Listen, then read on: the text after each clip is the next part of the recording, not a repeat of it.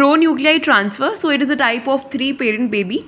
First, we will be taking two ovums, mother का और donor का fertilize कर देंगे इसको sperm से then see what happens.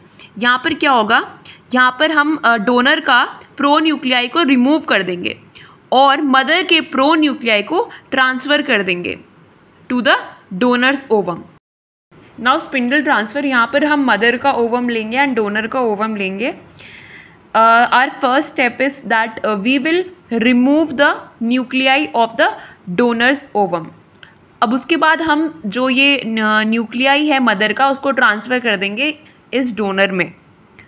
Transfer होने के बाद हम इसको फर्टिलाइज करेंगे स्पम से।